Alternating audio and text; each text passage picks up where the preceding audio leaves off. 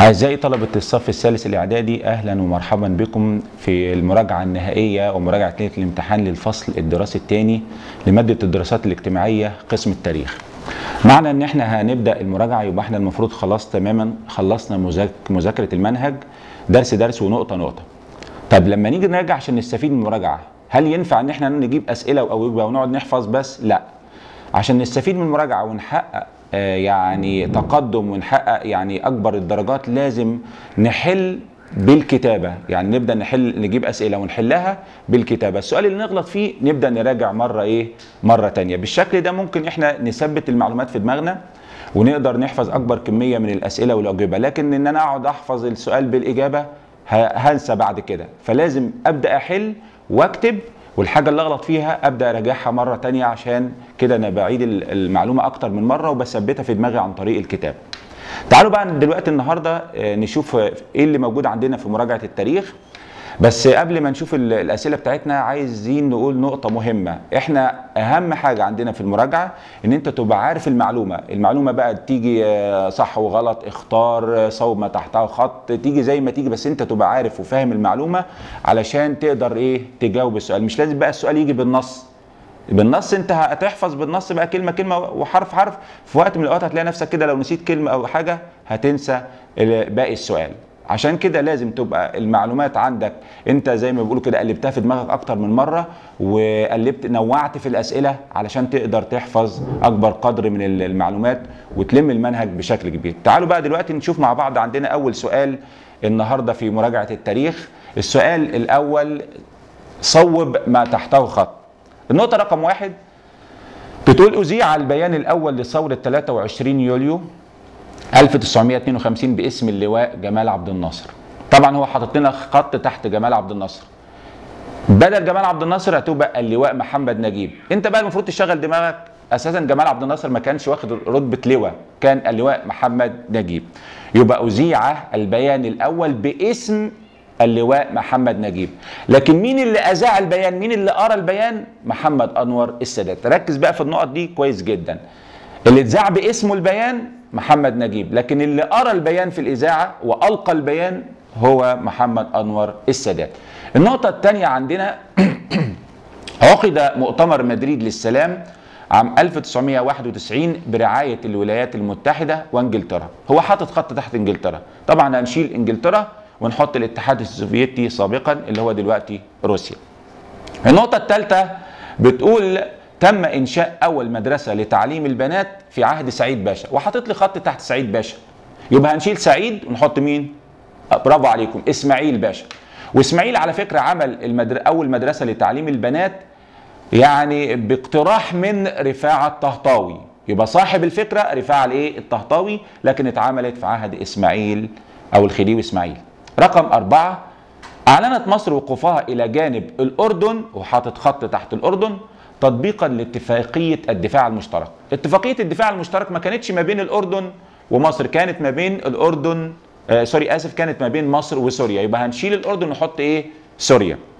رقم خمسة ترجع جذور الحركة الصهيونية كحركة سياسية تنادي بوطن خاص لليهود إلى بلفور وحاطط لي خط تحت بلفور طبعا بلفور ده مش هو صاحب ال- الحركة الصهيونية. بدل بلفور هنحط مين؟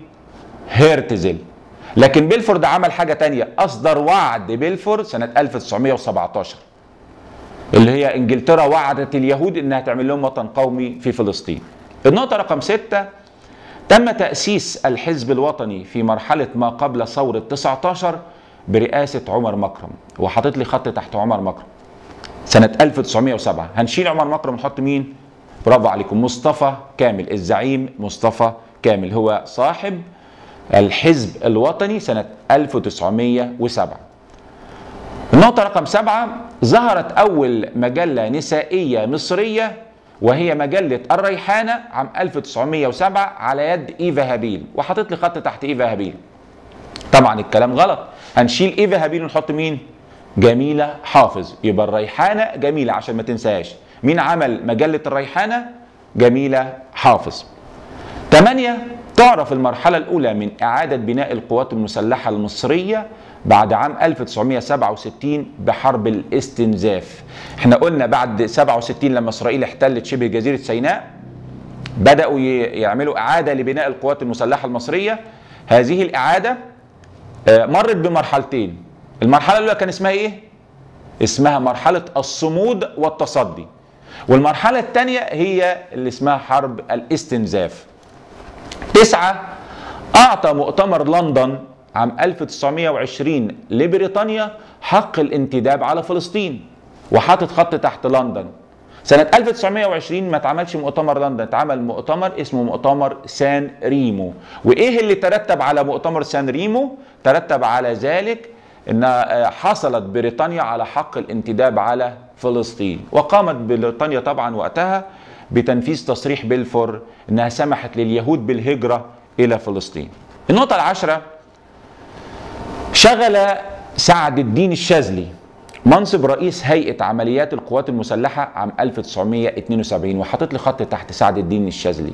طبعا بدل سعد الدين الشاذلي هنحط مين؟ محمد عبد الغني الجماصي. إحنا عندنا ثلاث شخصيات كان ليها دور كبير جدا في حرب أكتوبر سعد الدين الشاذلي وأحمد إسماعيل ومحمد عبد الغني الجمصي تخلي بالك منهم كويس جدا. كده السؤال الأول اللي هو صوب ما تحته خط انتهى. هناخد بقى سؤال جديد نركز فيه مع بعض وهو سؤال من الأسئلة اللي الأولاد بيحسوا إن في يعني في شيء من الصعوبة لكن أنا بقول السؤال ده سهل لأنك أنت لو كتبت فيه نقطة من الإجابة أو اتنين بتاخد عليه درجة. السؤال ده هو سؤال بما تفسر. اذكر السبب. علل. أول نقطة عندنا بما تفسر قيام ثورة 23 يوليو عام 1952 أسباب ثورة 23 كانوا ست أسباب. واحد استمرار الاحتلال البريطاني لمصر وتدخله في شؤون مصر الداخلية. اثنين هزيمة الجيش المصري في حرب فلسطين 1948 ثلاثة فساد النظام الملكي الذي أدى إلى انحدار سمعة مصر. أربعة تدهور الأحوال الاقتصادية. خمسة سوء الأحوال الاجتماعية. ستة عدم وجود حياة ديمقراطية سليمة. السؤال الثاني بما تفسر قيام ثورة 25 يناير 2011 إيه أسباب ثورة 25 يناير؟ واحد سوء الأحوال الاقتصادية. طب ليه الأحوال الاقتصادية قبل 25 يناير كانت سيئة؟ عشان حاجتين. رقم واحد التطبيق غير السليم لسياسة الانفتاح الاقتصادي. طب سياسة الانفتاح الاقتصادي تترتب عليها إيه؟ ارتفاع الأسعار طبعا. رقم اتنين تطبيق نظام الخصخصة اللي هو يبيع شركات الدولة أو شركات القطاع العام للقطاع الخاص. وترتب على كده يعني خروج ألاف من الموظفين بنظام المعاش المبكر. فده أدى إلى سوء الأوضاع الاقتصادية. ثاني سبب من أسباب ثورة 25 يناير سوء الأحوال الاجتماعية. والأحوال الاجتماعية كانت سيئة بسبب زيادة الفوارق بين طبقات المجتمع. في ناس غنية قوي وناس فقراء جدا فكان في مشاكل اجتماعية كبيرة السبب الثالث ل 25 يناير سوء الأحوال السياسية، طب الأحوال السياسية كانت سيئة ليه؟ اولا بسبب قانون الطوارئ، استمرار العمل بقانون الطوارئ من سنة 1981. رقم اثنين تزوير انتخابات مجلس الشعب 2010 اللي حصل فيها الحزب الوطني على نسبة 97% من المقاعد فبقى المجلس الشعب خالي من المعارضة مفيش معارضة محدش هيعترض على حاجة ده 97% مع الحزب الوطني السبب الرابع ل 25 يناير سوء الأحوال التعليمية والصحية.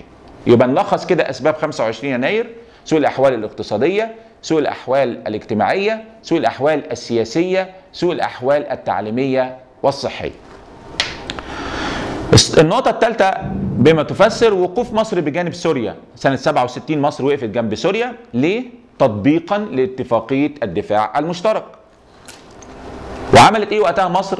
قفلت خليج العقبة في وجه الملاحة الإسرائيلية طب قفلته ليه علشان يتم إحكام الحصار الاقتصادي اللي كان بيفرضه العرب على إسرائيل ركز معايا عشان أنا بلم لك المنهج أو بقول السؤال وبلم نقط كتير حواليه عشان نلم موضوعات التاريخ كلها النقطة الرابعة بما تفسر هزيمة الجيش المصري في حرب فلسطين عام 1948 ليه الجيش المصري اتهزم في حرب فلسطين؟ مش الجيش المصري بس الجيوش العربية كلها أو العرب جميعا. بسبب عدم استعداد الجيش المصري للحرب عدم استعداد الجيوش العربية كلها ما فيش تنسيق ما بينهم اتنين مساعدة الولايات المتحدة الأمريكية لإسرائيل. دي النقطة رقم أربعة في السؤال بما تفسر. يبقى إحنا خدنا السؤال صوب ما تحته خط. وبناخد سؤال بما تفسر. نكمل بعد شوية مع بعض إن شاء الله.